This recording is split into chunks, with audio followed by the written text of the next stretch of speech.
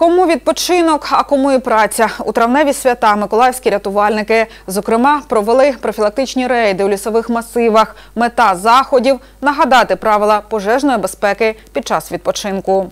Основний акцент на питаннях профілактики та недопущення виникнення пожеж під час відпочинку на природі. Надзвичайники наголошують, причиною подібних випадків залишається необережне поводження з вогнем. Тож рятувальники поспілкувалися із дорослими та малечою стосовно пожеж у лісі. Зосередили увагу громадян на тому, що е, треба правильно розводити багаття, дотримуватися е, правил пожежної безпеки під час розпалювання вогнищ.